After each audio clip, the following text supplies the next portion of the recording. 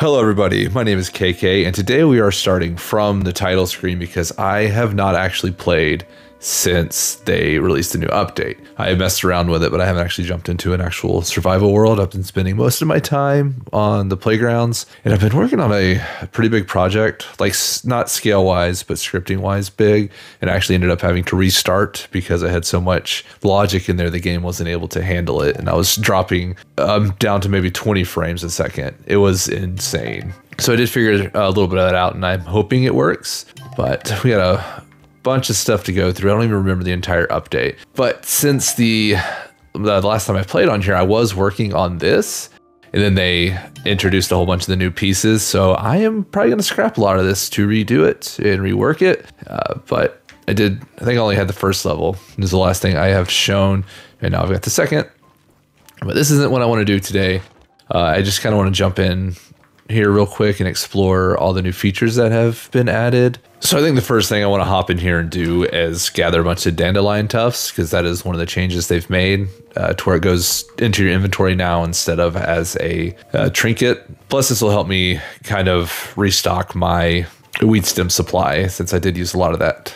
So after all this time of not having any issues, this clover has decided it is just going to sprout up into my base. So I keep completing random quests. So this is actually something I want to check on real quick because they did change the quest system. And I want to know if anything has been retroactive. Like, okay, yeah, so like this can only be reached once. So this has retroactive. This one I just did completing a mixer, a treasure chest. Yeah, so I guess the big stuff has been retroactive. There has like been the location that's um, the location challenges with the flag don't remember what they're called. Those have changed. But let's refill our quests and see what our first three are. So it's the crafting, scene, and the killing. The crafting, the killing, and the locations. All those have to be redone. So I am going to end up probably having to craft nearly every single item. So I'm just going to go ahead and start knocking some of that out, which will give me a lot of raw science, which is nice. I do already have nearly 7,000. There's a lot in here I want. Oh, yeah. Forgot that was the thing do get this. If you haven't already, check out my last video I did on how this thing can turn you into a firework yourself. It's really fun. As of right now, I don't think this mutation has anything to do with me because I am a single player on this world and I'll probably keep it that way. But I am going to go ahead and get it just to fill out those mutations. So we will start with the acorn shovel. Boom, done. then we will build a random roasting spit. Nice. And then we're just to go ahead and recycle that. And I do remember another change that I don't like because it used to be a way I recycled a bunch of random stuff like this acorn shovel I just had. I would throw in here, but they've changed it. You can no longer just throw random crap in here and make a slop. It's got to be something, which also means I need algae just to make a normal healing smoothie. I get why they made that change, but I do wish they would introduce something because they do make us craft a bunch of random stuff. I mean, it's changed where you're not going to get like crafting an acorn shovel over and over and over again, but you are still going to end up with extra equipment that you may or may not need. And it would be nice to have somewhere that could recycle that or a way to break it down to gather parts from it. And if I'm correct, I don't need to wait for a new day to refill this. I can just refill it. Nice. All right, I want to get to the first explore one because I want to see how these are now.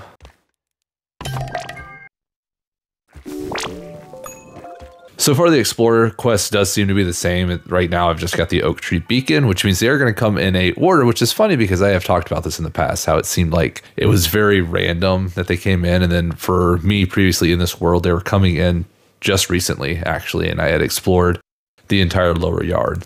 And I thought that was kind of strange.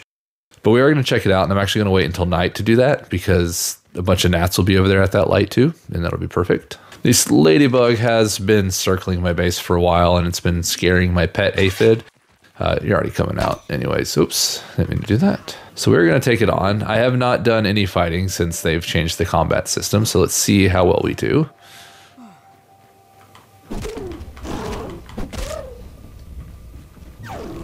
Okay. Nice. That's not bad. That felt most of the same. Obviously, the damage on the third hit is not as strong as it used to be. However, the three hit combo overall is stronger than the old three hit combo, which is nice. And there is a new perk on this thing the Finale Aftershock. Completely missed that. We'll have to see what that does. So, fun fact there's nothing about the finale Aftershock on the Grounded Wiki at the moment. It does seem like it's some kind of area of effect. I will look further for what it does eventually. Just kind of did a quick glance and didn't find anything. So, I'll just have to check it out later.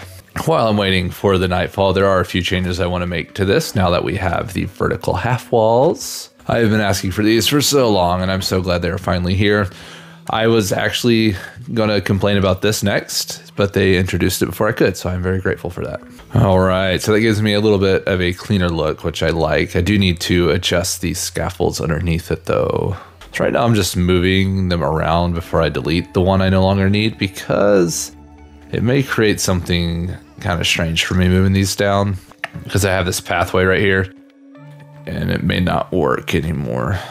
Well, as far as that way goes, I could leave it like that with no issues, but this one, so I'd have to scoot it over. I mean, it's not terrible. I could honestly probably just double up the stairs, like, yeah, like that. And it may fix it, maybe fine. I don't know, we'll see. I'm just gonna deal with it for the moment and see how I like it or not. But overall, it is a cleaner look. We're gonna head over here. We're gonna kill some grubs, we're gonna kill some gnats, and we are going to do the oak tree beacon.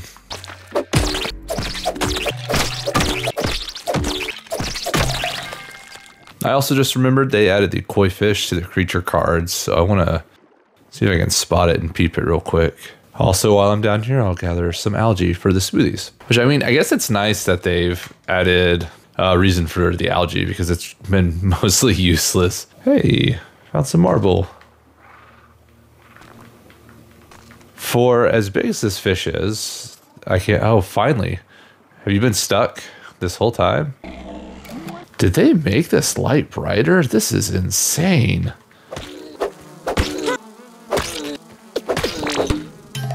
Oh, almost forgot about this. Oh, that's right. Okay, buddy. Forgot this is what they did. Nice. All right, pretty cool. So I just wanted to experience that. Now we can get back to it. grab my arrows. Don't know why my tuft did not deploy.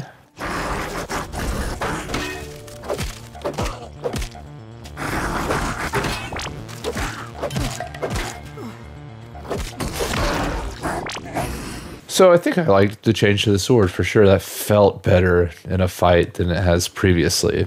The sword, unfortunately, does not have a final blow like the Mint Mace does. Okay, so I have done enough to unlock the daily quest, which unlocks, as you can see, after 20. And let's see what we get. Ant Brawl. Red, that's perfect. I can just go raid the ant hill, get a bunch of ant eggs, and make some bombs. That'll be great. Well, I lied. I ended up getting distracted by this anyway, and I just cleared stuff out, made changes, actually deleted stuff, and then I put it right back, uh, which is these walls here. I mean, they're standing differently. And I think them going vertically like this is actually a better look than side to side. So these half walls may kind of become my main. Like I'm tempted to trash these and then just do these all the way across. But we'll see. Right there, they look good. I think for the most part, I guess short burst. I don't know. But I got some stairs going up. I mean, I had some stairs going up, but I altered them. I wanted these to feel more like shelves than platforms to walk across. But I actually spent a lot of time on here, like I said, just deleting and then replacing pretty much what I just deleted. Uh, so this is going to be it for me uh, for this one. This is kind of like a getting back into it kind of thing, I guess. So it's going to be short, and I apologize about that if you wanted it to be longer. but I do really like hopping up here and looking down at this. This is starting to look so cool. I mean, it's been looking so cool in my opinion, at least. I think this is becoming my probably my most fun build that I've done, as well as the best looking as far as the just chaos going on. And I really want to keep implementing more of this walkway system I've got going on, and I want it to build up and then cross over.